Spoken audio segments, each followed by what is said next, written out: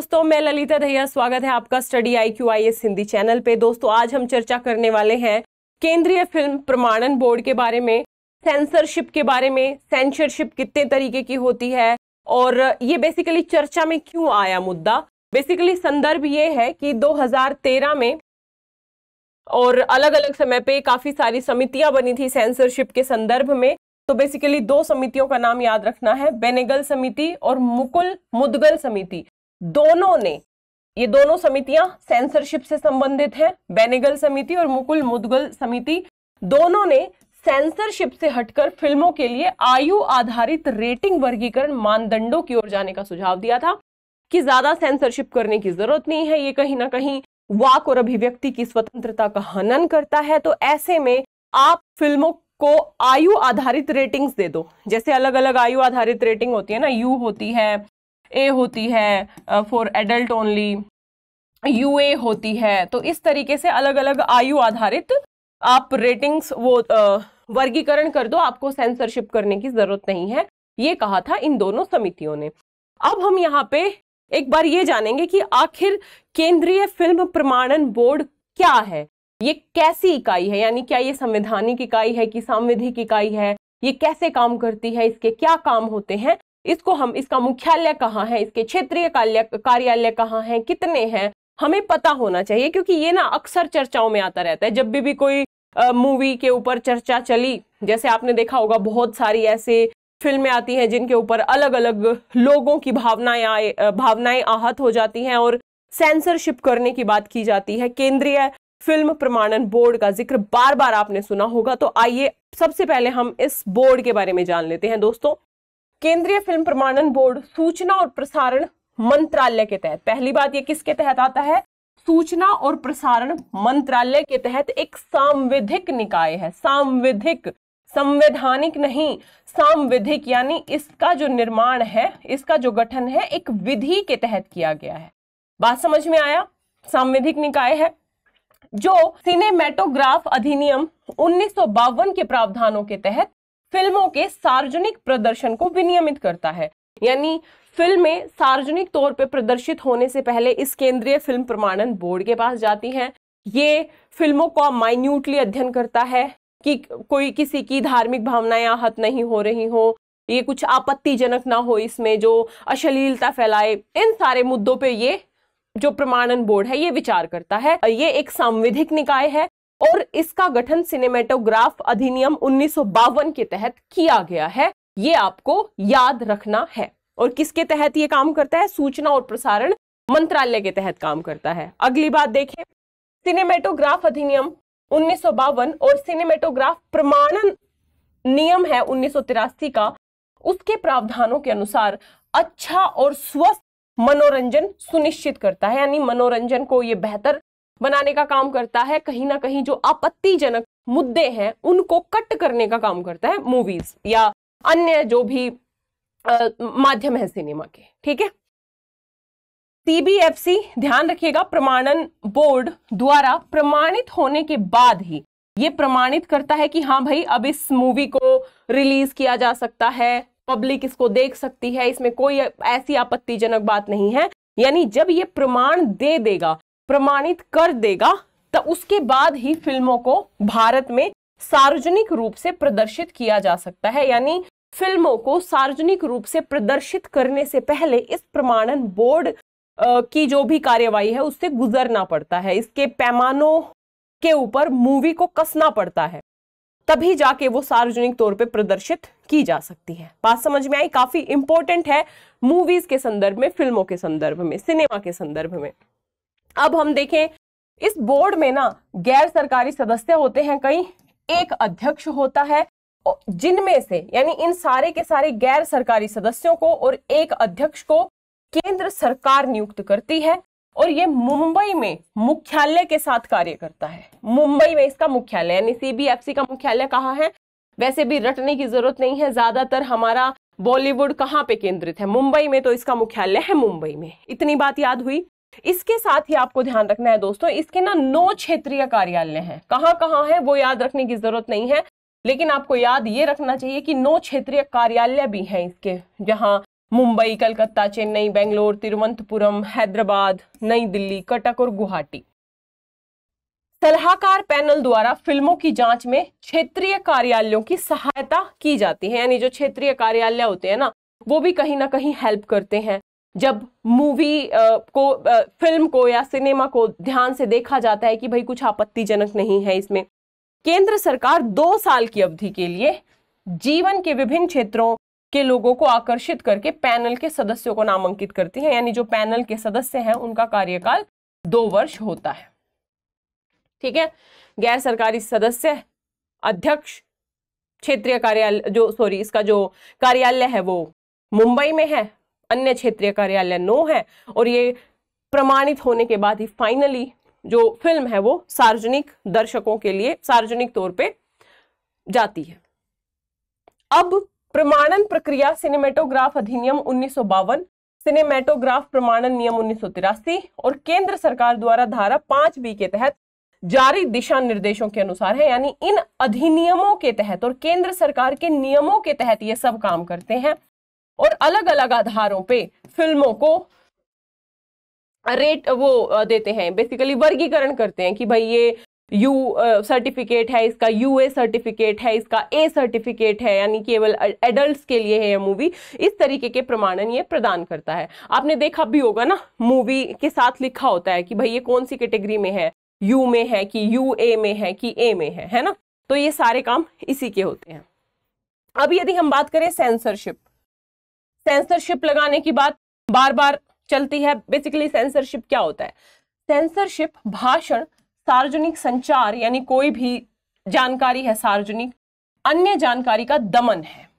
Usually ना, लोकतांत्रिक देशों में ना सेंसरशिप को बहुत प्रभावी नहीं माना जाता है। बहुत सारे व्यक्तियों का यह मानना होता है कि सरकारें सेंसरशिप का प्रयोग कई बार अपने विरोध में उठने वाली आवाजों को दबाने के लिए भी करती हैं। तो सेंसरशिप बहुत लोकतांत्रिक प्रकृति का नहीं होता, क्योंकि ये कहीं ना कहीं भाषण और अभिव्यक्ति की स्वतंत्रता का दमन भी करता है। तो सेंसरशिप भाषण, सार्वजनिक संचार और अन्य जानकारी का दमन है। ऐसा इस आधार पर कहा जा सकता है कि ऐसी सामग्री को और इस सेंसरशिप के आधार पे ये जो केंद्रीय फ़िल्म प्रमाणन बोर्ड है कई आधारों पे फ़िल्मों को रोक सकता है। जैसे यदि फ़िल्म में कुछ आपत्तिजनक है, यदि कुछ हानिकारक हो सकता है देश की एकता के लिए, अखंडता के लिए, किसी एक वर्ग के लिए, किसी एक क्षेत्र के लिए, किसी एक जेंडर के लिए, यदि उसमें कुछ हानिकारक सूचनाएँ हैं या जिससे विद्रोह होने की संभावना हो, कुछ संवेदनशील है किसी धर्म के प्रति या कुछ असुविधाजनक है जो सामान्य नागरिकों द्वारा नहीं देखा जाना चाहिए। इन आधारों पे सेंसरशिप लगाई जा सकती है। ठीक है? सेंसरशिप सरकारों, निजी संस्थानों और अन्य नियंत्रक निकायों द्वारा आयोजित की जा सकती हैं। अलग अलग ये सेंसरशिप की बात हो रही है कि भाई सेंसरशिप क्या होती है? सेंसरशिप कब लगाई जा सकती है? किन किन आधारों पे लगाई जा सकती है? कौन सेंसरशिप को लगा सकता है? अब यदि हम बात करें कि भारत में ना सेंसरशिप की बात क्या है? भारत में क्या सेंसरशिप लीगल है? तो ऐसे में हमें पता होना चाहिए कि भारत में सेंसरशिप को कानूनी समर्थन कहाँ से मिलता है? सेंसरशिप की जो बार बार बात होती है, इसको कानूनी समर्थन कहाँ से मिलता है? तो हमारा अधिनियम है सिनेमेटोग्राफ अधिनियम उन्नीस सौ बावन का। ये कानून विशेष रूप से कानून द्वारा स्थापित कुछ नियमों और विनियमों के संबंध में भारत में फ़िल्मों की सेंसरशिप से संबंधित है। ये सिनेमेटोग्राफ अधिनियम उन्नीस सौ बावन फ़िल्मों की सेंसरशिप से भी संबंधित है। इस कानून में प्रमाणीकरण, सेंसर बोर्ड की स्थापना और ऐसे बोर्ड का दायरा प्रदान किया गया है। सेंसर बोर्ड द्वारा किसी भी आपत्तिजनक सामग्री को हटाने के लिए फ़िल्मों को सेंसर करने की प्रथा भारत में अपनाई गई है, यानी भारत में ये लीगल है। यदि फ़िल्म के माध्यम से कुछ आपत्तिजनक परोसा जा रहा है तो सेंसर की जा सकती है, ठीक है? और यह फ़िल्म लक्षित दर्शकों के लिए इस इसका उद्देश्य क्या है?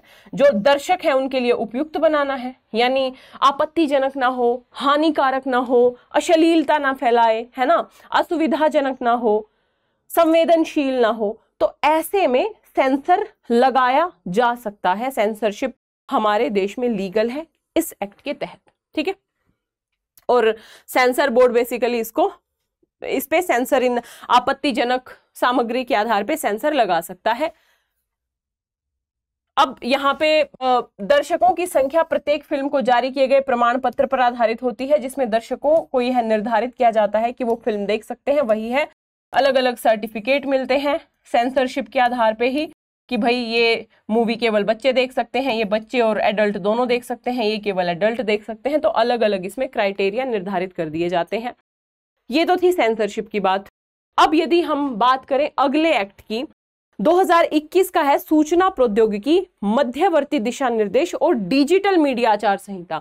हमें यह पता होना चाहिए कि डिजिटल मीडिया को 2000 के सूचना प्रौद्योगिकी अधिनियम की धारा, ये धाराएँ याद रखने की ज़रूरत नहीं है। बस इतना याद रखना है कि केंद्र को ये एक्ट कहीं ना कहीं ऐसे मुद्दों, जो भारत की संप्रभुता, अखंडता, भारत की रक्षा, भारत की सुरक्षा, विदेशी राज्यों के साथ मैत्रीपूर्ण संबंध या सार्वजनिक व्यवस्था या किसी भी संज्ञे अपराध को उकसाने से रोकने के लिए एक मध्यस्थ तक सार्वजनिक पहुँच को अवरुद्ध करने की अनुमति देता है। यानी यदि इस तरीके की कुछ बातें हैं तो सूचना प्रौद्योगिकी नियम 1921 के तहत उनको रोका जा सकता है सार्वजनिक होने से पहले। बात समझ में आई? केंद्रीय फ़िल्म प्रमाणन बोर्ड क्या है? कैसे काम करता है? सेंसरशिप क्या है? सेंसरशिप को किस कानून के तहत शक्ति मिली हुई है? क्या क्या प्रोविज़न होते हैं सेंसरशिप में, है ना? तो मतलब क्यों लगाई जाती है सेंसरशिप वो सारी चीज़ें देख ली। अब हम यदि देखें कि भाई सेंसरशिप का इंपॉर्टेंस क्या है? सेंसरशिप का महत्व क्या है? फ़िल्मों को हमेशा से, यदि हम फ़िल्मों की बात करें, फ़िल्मों को हमेशा से अभिव्यक्ति का सबसे सशक्त माध्यम माना गया है है ना? स्थायी रूप से स्वीकार किया जाता है कि सिनेमा भाषण और अभिव्यक्ति का एक रूप है। सिनेमा लोगों को बड़े स्तर पे प्रभावित करता है। यूजुअली सब लोग सिनेमा से प्रभावित होते हैं चाहे गाँव हो या शहर हो। तो ऐसे में जनता के दृष्टिकोण को उनके व्यवहार को कई तरीके से प्रभावित कर सकता है। यदि सकारात्मक फ़िल्में हैं तो सकारात्मक तरीके से प्रभावित कर सकता है। मान लो जो ऐसे मुद्दे होते हैं समाज के जैसे आ, महिलाओं से जुड़े हुए मुद्दे हैं या फिर जो पिछड़े तबके हैं उनसे जुड़े हुए मुद्दे हैं। यदि उनको लेके अच्छी फ़िल्में बनाई जाएँ तो लोगों के व्यवहार में सकारात्मक परिवर्तन आ सकता है, महिलाओं के लिए, पिछड़े तबकों के लिए, है ना ट्रांसजेंडर्स के लिए तो सकारात्मक प्रभाव भी पड़ सकता है, लेकिन नकारात्मक प्रभाव भी तो पड़ सकता है ना, साथ ही साथ। मान लीजिए अश्लीलता फैल रही है पोर्नोग्राफी को बढ़ावा दे रहे हो, आप चाइल्ड पोर्नोग्राफी को बढ़ावा दे रहे हो फ़िल्मों के माध्यम से तो इससे कहीं ना कहीं नकारात्मकता भी तो फैलेगी, अपराध भी तो बढ़ेंगे समाज में। तो फ़िल्म में कहीं ना कहीं समाज का एक पूरा का पूरा चित्र प्रस्तुत करते हैं। समाज बड़े स्तर पे सिनेमा से प्रभावित होता है। ऐसी सामग्रियों को हटाना जो अश्लील है, अन्यथा नैतिक रूप से संदिग्ध मानी जाती हैं। ऐसी सामग्रियों को हटाना कई बार ज़रूर हो, ज़रूरी हो जाता है, जो अश्लील है, जो नैतिक तौर पे चुनौतियाँ उत्पन्न करती हैं समाज में।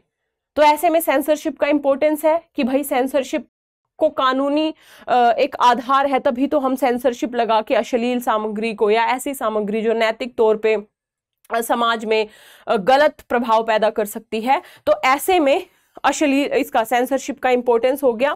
जैसे उदाहरण के लिए मैंने आपको बताया पोर्नोग्राफी को अक्सर इस तर्क के तहत सेंसर किया जाता है।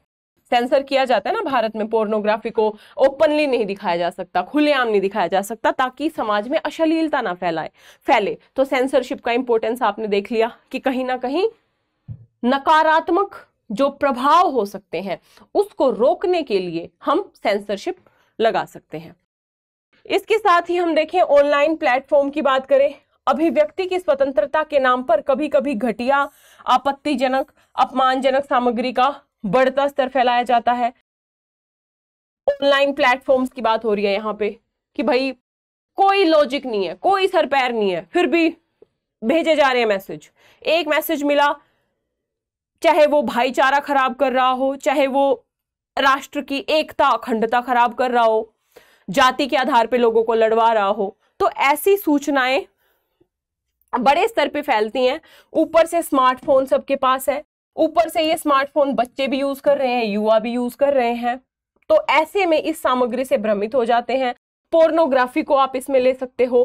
भाई कोई भी अगर गलत वीडियो है, उसका बड़े स्तर पे प्रचार प्रसार किया जाए, उसको बच्चे भी देखेंगे, युवा भी देखेंगे तो उन इसके ऊपर भी तो उसका नकारात्मक प्रभाव पड़ेगा ना कहीं ना कहीं। बढ़ते डिजिटल अपराध, जैसे कट्टरवाद है, आतंकवादी भर्ती है डिजिटल हैकिंग है चाइल्ड पोर्नोग्राफी आदि। तो ऐसे में ऑनलाइन प्लेटफॉर्म्स के ऊपर भी कहीं ना कहीं सेंसर लगाना बहुत ज़रूरी हो गया है। ठीक है? समय की ज़रूरत है। अब सेंसरशिप के ना कई तरीके के प्रकार होते हैं। एक होती है धार्मिक सेंसरशिप धार्मिक सेंसरशिप का मतलब क्या है? यानी जब किसी निश्चित धर्म को टारगेट किया जाए, किसी निश्चित धर्म की मान्यताओं का उपहास उड़ाया जाए, उसका अपमान किया जाए तो ऐसे में आप धार्मिक आधार पे सेंसरशिप लगा सकते हो कि भाई इस फ़िल्म के माध्यम से तो किसी धर्म का अपमान हो रहा है, उपहास उड़ रहा है। इससे धार्मिक जो ढांचा है, हम कहें कि हमारा पंथ निरपेक्षता का ढांचा टूट रहा है, भाईचारे की भावना इससे दूषित हो जाएगी। तो ऐसे में धार्मिक सेंसरशिप बोलते हैं, यानी किसी निश्चित धर्म द्वारा आपत्तिजनक मानी जाने वाली सामग्री को हटा दिया जाता है इस धार्मिक सेंसरशिप के तहत। मान लो कोई फ़िल्म है, इस फ़िल्म के एक छोटे से पार्ट में कुछ ऐसा विवाद, कुछ ऐसा वाक्यांश आ गया जो किसी धर्म धार्मिक नज़रिए से आपत्तिजनक है तो इस पार्ट को हटा दिया जाएगा सेंसर कर दिया जाएगा, है ना? तो ये हो गई धार्मिक सेंसरशिप एक होती है राजनीतिक सेंसरशिप ये राजनीतिक सेंसरशिप ना बेसिकली लोकतांत्रिक देशों में थोड़ी कम यूज़ होती है और ऐसे देशों में जहाँ पे किसी एक पार्टी एक दल की सत्ता लगातार रहे, वो लोकतंत्र एक दल की सत्ता तो लोकतंत्र में भी हो सकती है। हालाँकि बहुत लंबे समय तक थोड़ा सा पॉसिबल नहीं दिखता, लेकिन फिर भी हम ये कह सकते हैं कि ये राजनीतिक सेंसरशिप तब लागू होगी जब सरकारें अपने नागरिकों से जानकारी वापस लेती हैं बेसिकली आबादी पर नियंत्रण रखने के लिए इसका प्रयोग किया जाता है, मुक्त अभिव्यक्ति को रोकने के लिए और विद्रोह को, ताकि ऐसी मुक्त अभिव्यक्ति विद्रोह को दबा बढ़ावा दे। मान लो, कोई एक ऐसी कंट्री है जहाँ पे सरकार अन्याय कर रही है, अपने लोगों के बोलने पे पाबंदी लगा रही है, लोगों के कल्याण का काम नहीं कर रही है। ऐसे में यदि कोई फ़िल्म बनती है, जो इनकी राजनीतिक जो एक हम कहें कि इच्छा है, उसको रोकती है। राजनीतिक इनके लिए राजनीतिक तौर पे हानिकारक है। तो इस आधार पे सेंसरशिप लगा देंगे। हालाँकि ये सेंसरशिप बिल्कुल अलोकतांत्रिक हो सकती है काफ़ी मामलों में। बिल्कुल नहीं मतलब काफ़ी मामलों में अलोकतांत्रिक हो सकती है। लेकिन इस तरीके की सेंसरशिप भी काफ़ी सारे देशों में लगाई जाती है। भारत में ऐसी सेंसरशिप बेसिकली बहुत कम प्रयोग होती है। जैसे कई लोग इसका एग्ज़ाम्पल दे सकते हैं कि भाई जो बीबीसी वाली अभी काफ़ी सारी विवाद चल रहे हैं कि रिलीज़ होनी चाहिए कि नहीं होनी चाहिए, उस पर हम किसी और दिन डिस्कस करेंगे, लेकिन इस तरीके के मुद्दे राजनीतिक सेंसरशिप का पार्ट हो सकते हैं। अब हम देखते हैं सैन्य सेंसरशिप क्या होती है। मान लो किसी फ़िल्म में सैन्य खुफिया और रणनीति को गोपनीय रखने सैन्य खुफिया और रणनीति को सामने ला दिया जाए, है ना? इसका इस्तेमाल जासूसी का मुकाबला करने के लिए किया जाता है। मान लो किसी फ़िल्म के माध्यम से हमारे पूरे सैन्य संरचना के जो ऐसे गोपनीय जानकारियाँ होती हैं, गोपनीय मुद्दे होते हैं, उनको यदि दर्शाया जाए फ़िल्म के माध्यम से, जो ये तो हमारी राष्ट्र की एकता खंडता के लिए चुनौती हो सकती है तो ऐसे में सैन्य सेंसरशिप लगाई जा सकती है, ठीक है? अगली बात है, इससे जुड़ी चुनौतियाँ भी हैं भाई। क्या क्या चुनौतियाँ हैं सेंसरशिप अभी तो हमने देखा सेंसरशिप का इंपॉर्टेंस देखा कि भाई कुछ मामलों में सेंसरशिप सही भी है क्यों सही है मैंने बताया? धार्मिक सेंसरशिप होती है, राजनीतिक सेंसरशिप होती है, सैन्य सेंसरशिप होती है, लेकिन इस सेंसरशिप की ना अपनी चुनौतियाँ भी हैं। इसे हम पूरी तरीके से निर्बाध नहीं मान सकते। क्या चुनौती है जी? पहली चुनौती है यह प्राकृतिक न्याय और भाषण की स्वतंत्रता के खिलाफ है। प्राकृतिक न्याय सार्वजनिक कानून में एक मौलिक सिद्धांत है, जब फैसले मौलिक अधिकारों जैसे बोलने की स्वतंत्रता को प्रभावित करते हैं। भारत के सर्वोच्च न्यायालय ने विभिन्न अवसरों पर माना है कि सूचना प्राप्त करने और प्रदान करने का अधिकार मुक्त भाषण में निहित है।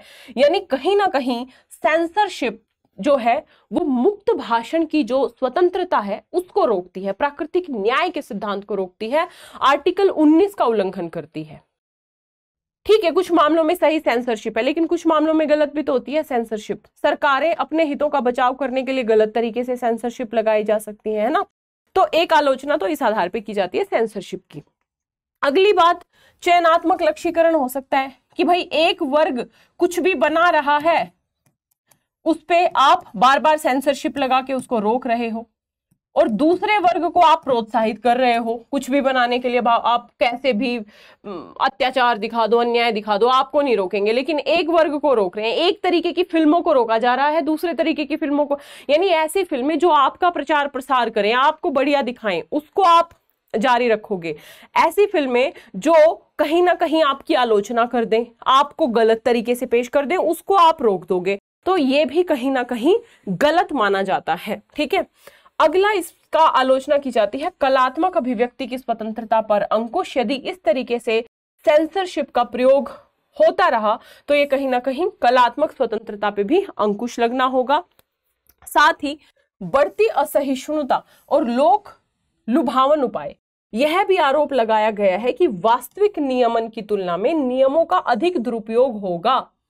यदि हम सेंसरशिप जैसे मुद्दों पे बहुत